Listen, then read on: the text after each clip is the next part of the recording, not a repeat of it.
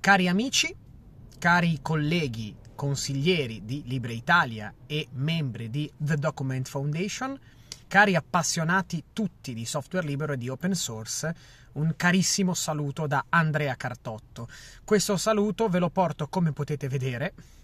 dall'auto, poiché anche oggi mi trovo, eh, eccezione fatta per l'abito più, tra virgolette, borghese e meno istituzionale del solito, impegnato eh, al lavoro. Non mi è stato possibile, ahimè, ehm, recuperare insomma dei giorni utili di ferie di permesso per essere con voi come avrei desiderato in presenza nel meraviglioso luogo in cui vi trovate. Però ecco, credo che sia doveroso sia per il mio ruolo di consigliere in Libre Italia, con un focus naturalmente sulla scuola, che insomma eh, proprio per la vicinanza alla comunità portare ugualmente il mio saluto e il mio intervento con le modalità digitali. Vi devo dire che, insomma, la Libre Italia Conf di quest'anno è una Libre Italia Conf particolare, particolare perché si svolge in presenza e online, perché so benissimo e do merito al presidente Nio Gemmo, a tutti i consiglieri per il lavoro enorme e curato che è stato fatto, di cui in realtà eh, non ho meriti se non quello di aver ahimè, nei limiti del tempo concessomi dal lavoro, dall'insegnamento, dai corsi, aver seguito e aver apprezzato e approvato l'impegno e la costanza di tutti eh, gli amici e i colleghi consiglieri, ma anche di tutti noi che semplicemente perché crediamo in una finalità ed in un obiettivo comune, collettivo appunto, investiamo il nostro tempo. Per fare cosa? per raccontarci come parlare di software libero, nel mio caso con riferimento alla scuola e all'istruzione, sia una sorta di dovere civico, ma sia soprattutto l'intento di aprire la mente ai colleghi, quindi a docenti, alla dirigenze scolastiche, ehm, alle segreterie didattiche, agli alunni e alle famiglie. Nella scuola il software libero è un tema importante, a volte non trattato come dovrebbe, eppure vi dico che ci sono dei casi virtuosi. Io stesso ehm, sulla rivista ehm, del centro studi Ericsson mm, sul tema Media Education, la rivista MED, ehm, nel 2017, in tempi ben pre-pandemia, ho pubblicato una buona pratica su un corso per l'uso didattico di LibreOffice che ho tenuto e progettato a Ventimiglia, l'estremo ponente ligure. Oppure ancora, in questo momento, in questi tempi, ho iniziato un'attività didattica con gli alunni delle scuole medie e secondarie di primo grado, un intero modulo PON, quindi un'attività didattica di 30 ore finanziata dal Fondo Sociale Europeo, basata sulla didattica digitale con un forte accento sul software libero. Ecco, a volte occorre anche ritagliare le occasioni per parlare di software libero, di didattica digitale con il software libero, anche laddove magari pare che queste non vi siano. Um, il software libero nella scuola può essere tranquillamente il sistema operativo, quindi una integrazione, un affiancamento e magari in taluni casi una sostituzione del sistema operativo proprietario Windows con una qualunque delle distro di Linux. Penso a Ubuntu, penso a Zorin OS, penso a tanti casi ed ambiti di applicazione dove dobbiamo essere noi ad indirizzare in maniera graduale, accurata, senza ergerci al di sopra delle parti di qualcuno senza entrare in conflitto, senza generare contrasti, senza pensare di essere i più bravi e i più belli. E solo con l'esempio, con la gradualità, accettando tranquillamente alcune convivenze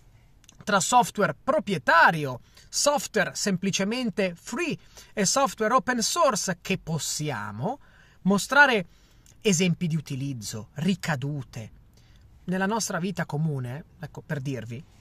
OpenBoard è un eccellente software open che eh, ci consente di utilizzare una lavagna digitale in presenza e a distanza. LibreOffice è il meraviglioso applica- applicativo che tutti conosciamo per la videoscrittura, per realizzare un foglio di calcolo, per impaginare Penso ancora a tutta la famiglia dei software Tux per la scuola primaria.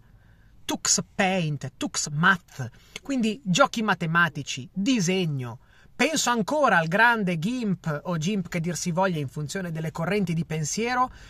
per la fotografia digitale. Penso ancora a Scribus, a Inkscape per realizzare il giornalino di classe. Mm, per quanto in realtà sia sufficiente l'applicativo interno a LibreOffice che è Draw, che, tra parentesi, è un applicativo eccellente per aprire e editare, cioè modificare anche i file PDF che possiamo aver realizzato come nostro materiale. In Italia ricordiamoci che è vigente, questo è un tema su cui riflettere, il codice dell'amministrazione digitale, il cosiddetto CAD, che negli articoli, in particolar modo 68 e 69, ci parla di che cosa? Gli articoli 68 e 69 ci dicono che le pubbliche amministrazioni, scuola compresa, debbono preferire soluzioni eh, di riuso del codice, soluzioni, soluzioni dicevo, che consentano di preferire, preferire, attenzione bene, facendo la valutazione comparativa che non è materia da tecnici, è materia um, che si può trattare informandosi, leggendo, studiando e documentandosi. Ebbene, io preferisco il software libero e dunque sono adempiente, non è un gusto. Prendiamo ancora il caso della didattica a distanza e non solo. Sappiamo benissimo che molte istituzioni scolastiche utilizzano applicativi proprietari. Sappiamo, ma se non lo sappiamo vi racconto con piacere, che ci sono sentenze europee, come la sentenza Schrems e la sentenza Schrems 2, che ci dicono in realtà che occorre prestare la massima attenzione a dove finiscano i nostri dati e i dati dei minori. Dunque, se anche concettualmente io potrei accettare taluni compromessi nell'utilizzo di Big G, cioè del colosso Google, perché sto utilizzando uno smartphone con sistema operativo Android, con account Google e così via, e per uso privato tutto sommato è mia responsabilità sapere a quali compromessi io vada incontro, nella scuola bisogna uscire dalla mentalità che più tu sia grande, più tu sia bravo o affidabile Semmai, più tu sei grande, più tu puoi essere diffuso. Ma la diffusione ce l'ha anche il software libero e come? È che queste gocce, in un grande mare di utilizzo virtuoso del software libero, si devono unire al punto da formare un lago, al punto di essere a loro volta un mare pulito, etico, digitalmente ed educativamente corretto per minori e per adulti. È in questa direzione che dobbiamo andare, ma ripeto, il lavoro deve essere costante. Dobbiamo mettere in conto che, ahimè, i tempi della pandemia che ci hanno fatto scoprire l'importanza vitale della rete, del digitale, non ci hanno resi migliori. Anzi, in qualche caso, fortunatamente, non tantissimi, però, formando i colleghi di tutta Italia sulla didattica digitale, ora integrata, la chiama il Ministero con questo aggettivo, vi dico che in realtà, um, ecco, anche in questi frangenti eh, c'è chi magari si è servito di soluzioni, penso a Big Blue Button, penso a Jitsi Meet, penso a tante soluzioni per la didattica sincrona eccellenti ed efficaci, e poi magari ha pensato, vabbè, ma scherzavo, ora torno ad un altro tipo di utilizzo. Chi vi parla è anche ambassador di una versione interamente personalizzata e rivisitata in Italia da una fondazione che si chiama Fondazione Franchi di Big Blue Button, il cui nome è Hub, HUB. Ci sono moltissime scuole d'Italia che lo, la usano, usano Hub, se la declino al femminile, come applicazione unica per la didattica, per il collegio dei docenti, per il consiglio di classe, per lo sportello psicologico perché hai maggiori garanzie in termini di privacy e di qualità rispetto magari dei software proprietari. Certo, tutto dipende anche dal server, cioè dalla scatola che ospita il tuo prodotto che tu stai utilizzando. Potrai non essere il server, i server di Google, ma in realtà possiamo ed è possibile predisporre con facilità, ripeto, non sempre si tratta di competenze da tecnici, ma si tratta di competenze digitali da cittadini, possiamo fare la differenza come? Partendo dal poco, con il nostro esempio, spiegando in maniera chiara come Libre Italia fa tramite la nostra attività, quali siano i comportamenti virtuosi da seguire. Dobbiamo metterci al fianco, al fianco dell'istituzione scolastica, al fianco di un amico, al fianco di un dirigente, al fianco di un alunno e mostrare gli aspetti positivi ed educativi di ciò che stiamo utilizzando. E allora che usciamo dalla logica del prodotto, ed entriamo invece in quella che deve essere la logica di una sana e corretta educazione digitale. Questo è quello che fa Libre Italia, questo è quello che fa The Documents Foundation, di cui sono con onore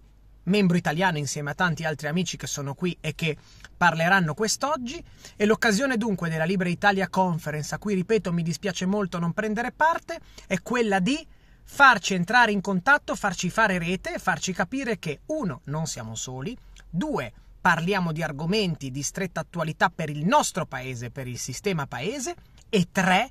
Che non stiamo parlando in informatichese, che non stiamo parlando con tecnicismi, ma che cerchiamo di far capire, ad esempio, e so che in questo senso sfondo una porta aperta con l'amico Italo Vignoli e non solo, che se noi salviamo un banalissimo, apro le virgolette, documento in un formato ODT, Open Document Text, perché è un documento di videoscrittura, ed evito di salvare in un formato proprietario DocX o altro, in realtà sto preservando l'integrità, la durevolezza, la condivisibilità e la conservazione nel tempo di un dato, di un ricordo, di qualcosa di importante. Il digitale è ormai parte integrante della nostra vita ed è questo um, l'assioma, il ragionamento che dobbiamo mettere davanti ai nostri occhi per poi da lì continuare ad incamminarci su questa strada. Ciao a tutti, buon lavoro, buona Libre Italia Conf, saluto i colleghi che si sono alternati nei panels precedenti e che si alterneranno a quelli successivi ai miei. Ciao Presidente Ennio Gemmo, ciao cari amici consiglieri e ciao a tutti voi che mi state vedendo ed ascoltando in questa veste red.